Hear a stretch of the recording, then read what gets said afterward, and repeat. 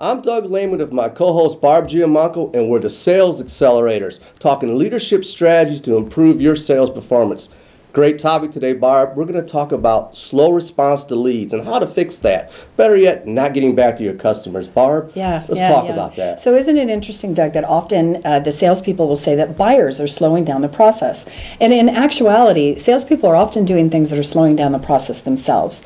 You would think, with everyone looking to fill the funnel, right, with great leads, that they'd be very responsive when people actually bring inbound opportunities to Inbound marketing, you fill out a form or you contact a customer or a business and they're not getting back to you. That's right. And it happens a lot more often than you would think. So, in terms of sales acceleration, which is what we're talking about, the Right. faster you respond, uh, the more quickly you have an opportunity to move that along to an uh, you know to a to a sales close, right? I know you want to ex- you've got an opportunity. You've got a hot lead.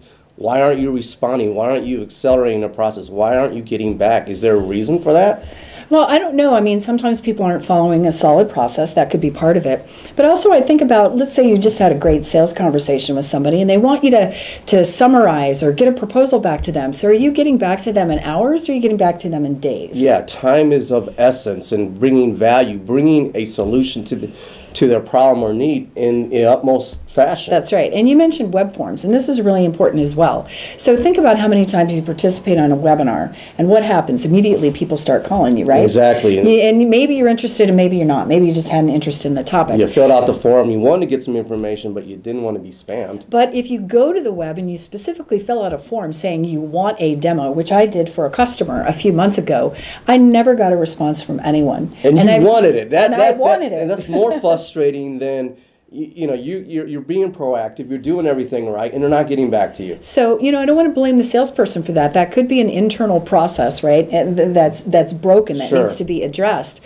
But for goodness sakes, if you've got a web form there and people are asking for a demo, somebody should get back to them. I just think that's kind of obvious. you know, ha- have a sense of urgency. There's already there's you have the inbound marketing program working for you. There, the customers calling you. They're reaching out to you, and have the courtesy and the responsiveness and the intestinal fortitude to get back to them. Right, and and so there's this other problem too, though, Doug. Often, you know, salespeople think that the leads that are coming from marketing are not very good, and they will choose not to follow up. Well, um, don't self-qualify, or maybe do a little pre-self-qualification, but don't just assume and not call anybody. There's a great opportunity to do some discovery phase with that potential customer or client, being able to talk to them. It may be a lead, but it may turn into another opportunity you didn't even un- uncover. That's right. But you could also use social media to quickly do a little homework to figure out whether or not you think this person is the right person for you to call. Bottom line, though, you've got to be responsive. Sales acceleration really depends on that today because if you're not, your competitor surely will be, right? It's as simple as that. Yeah, be think so. responsive to your leads that are coming, especially if they're inbound or outbound leads, but be responsive. Get back to your customers, get back to your clients, and answer their questions because if you don't, the competition will. I'm Doug Lehman with Barb Giamanco. We're the Sales Accelerators. We talk leadership strategies to improve your sales performance. Remember to connect, collaborate, Collaborate, and and close. close. Thank you.